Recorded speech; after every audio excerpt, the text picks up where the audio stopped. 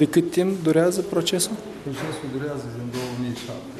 Din 2007. Atunci l-ați inițiat dumneavoastră. Da, da, eu am dat la divorț pentru după rugămintea Doamnei că,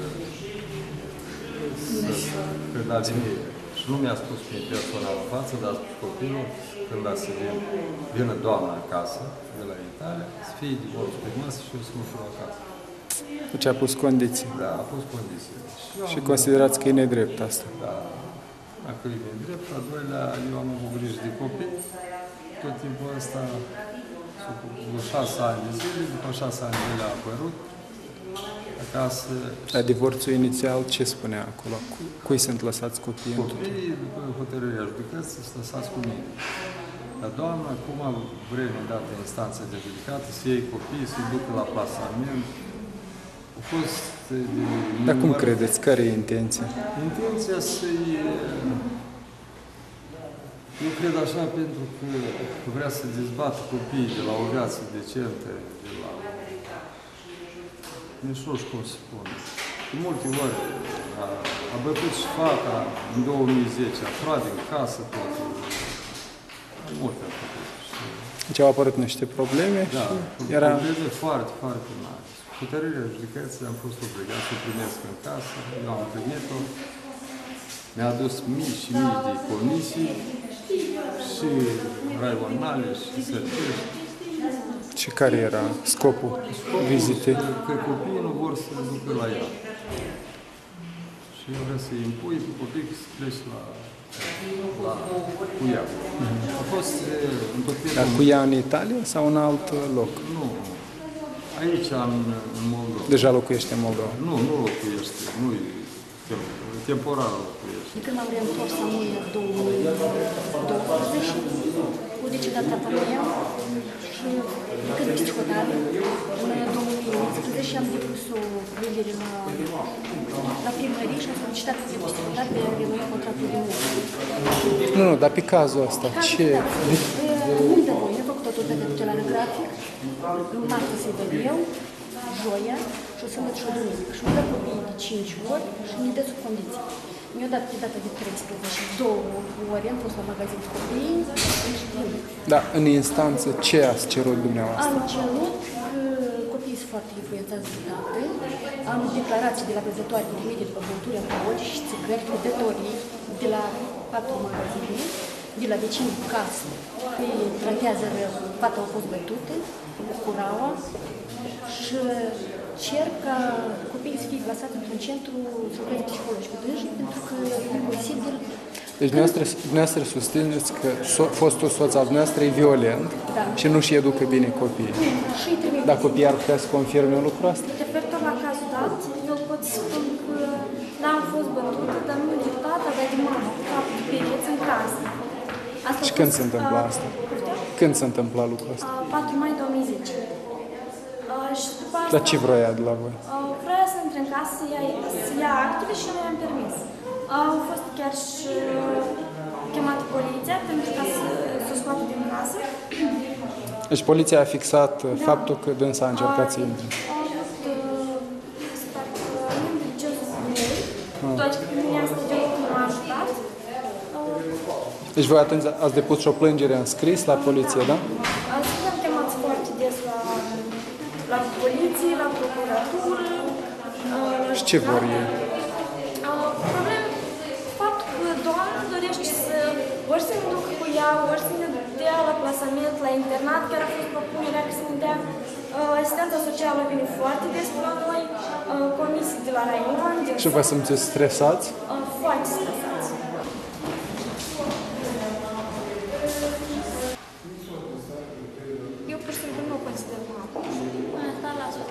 Prea, prea mult timp n-ați fost cu ea?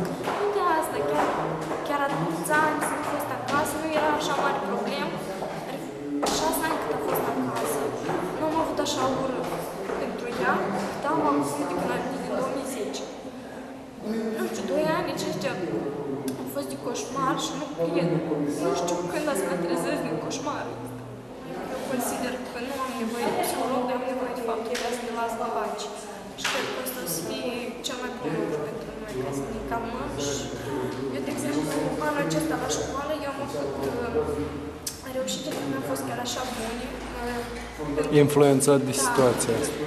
Chiar a fost uh, situația aceasta. Dar în ce clasă ești?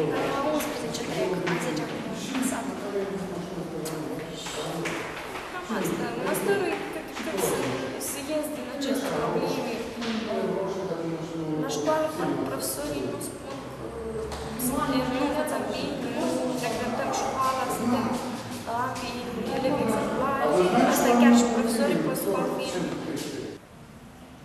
suntem în, în spital că suntem răciți, dar eu știu că este că e greu noapte. Și asta vă stresează. Dar la școală reușești, faci față? Ne întrerupem la lecții. Nu știu de multe ori la părțile la Și acolo se fac presiuni, vă- se ridică vocea? Nu? faptul pur și simplu că noi ne ducem de atâtea ori trebuie să, să ne ducem Dați într-o explicații. oră, da. Să explicăm, întotdeauna trebuie să... Și audierea voastră de obicei se face în prezența psihologului, a A profesorului și a psihologului de obicei. Nu este presiune din partea la, organe, da. da, la polițiști, dar este presiune de pur și simplu fiecare dată când vin în comisii, acasă, este foarte stresant acest lucru. Doresc ca să rămânem cu tata și asta este dorința noastră și nu, nu, nu cred că ar putea cineva să influențeze o persoană în deciziile sale. Eu singur iau decizii și nu, nu aștept că cineva să mă influențeze. De momentul în care copiii nu o să mai fie cu tata, ce o să obțineți? Să am grijă de ei, să nu fie așa stresați, nu fie în prejurări de bărbat care duce el în casă, să nu-i trimite după băuturi alcoolice, să-i fac mâncare, să nu spui fetița la spălat rufele, să nu îi stresezi. Stai un pic, într-o să nu-i- familie, să nu-i copiii trimite- de obicei își ajută părinții. Ajută părinții, Dacă da. îl ajută în mod excesiv, să abuzează și îi pus la munci fizice grele, copilul reclamă lucrul ăsta. Sunt asistenți sociali, sunt profesori în școală care pot înregistra plângerea și să-l tragă pe tata la răspundere. Sunt Dar astfel de știți, ia plângeri. uitați câte plângeri am eu și de la... Scoate fals. Nu-ți faci, că nimeni, nu, nimeni Toate deodată, false, nu. Ei, ia uitați-vă, dacă copilul spune că așa ceva nu există, cum puteți? Spuneți că el e exploatat din momentul în care copilul spune că nu e așa. De frică spune. Deci credeți că de Da, frică? Deci că mie mi-a dat în în 2010, mi-a dat judecata psiholog la centru amic.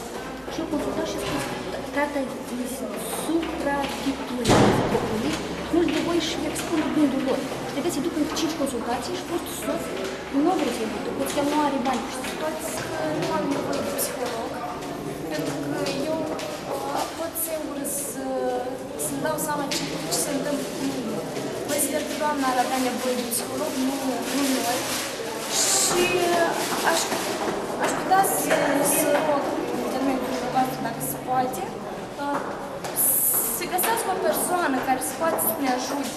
Da, este președintele țării, Pentru este că nu mai, Domnul prim-ministru, domnul președinte țării, luați vă rog măsuri cu ăștia veniți din Italia care prăște bani în stânga și în dreapta și bat joc de copii. Până la urmă, educează copiii.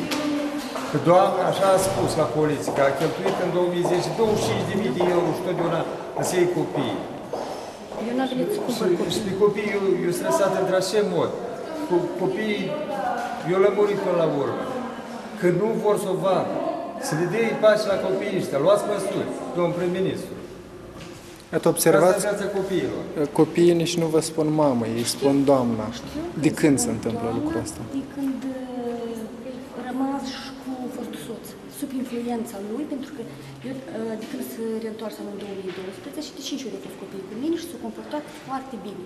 Și la telefon, sunetele tatălui de 5 ori, la sunetele tatălui de 5 ori, copiii de-am se îmbrăcau și de la ușă. Și eu îmi dădeam seama că trebuie să-i duc acasă și fără reproșuri, fără nimic, îi îmbrăcam și îi duceam acasă.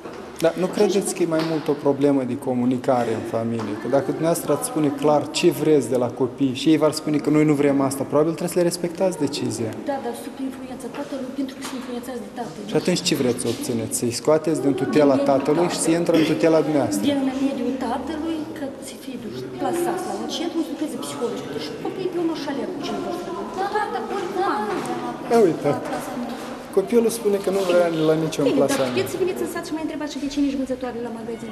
Și ce să spună vecinii? Să răspundă, cum e băieța cățelul l-a bătut tata în drum, cum se duce după băutura alcoolice și, și vă spun și primarul, și poliția, să vă spun și Nu aici. înțeleg, doamna, Doi pe la Și pensia alimentară, cum spune că Poța achit, Maria, atâta mișură e nu, trânsa. nu e așa, nu e Pentru că- adevărat. Bine, spune pe internet, televiziune, că hotărârea, judecății, ți-o dat voi, m-a obligat pe mine să intri în casă și tu îmi tragi cu așa și pântea, Nu e adevărat. cu, cu amanță ea de față cu copii. Nu e Intra. adevărat. Tu în, în ziua când am intrat Și în când ai casă, furat tot din casă, computerul la copii, mașina care spăla la copii, când am tu intrat ai în furat casă- din casă. Tu ai Eu furat din vreau să casă. vă zic, Eu când am intrat în casă, am intrat cu executorul judecătoresc și în ziua și eu la copii și au plecat de casă la fratele lui. Da, dar copiii nu doresc, dar copiii nu doresc cu ea. Nu e adevărat. A dus și de unde știi? De unde Dar ar putea copiii să rămână cu mama forțată. Iată, copiii spun că dacă instanța decide să se înstrăineze de la tata și să fie cu dumneavoastră, ei nu o să subordoneze. Asta ce spune? Iată, copilul spune că are fugit de la De la mama. mine pentru să influențează de tată, că de-am pregătit, el am, de-am mai cerut în termen de 20 de zile să-i pregătească pentru instanța următoare.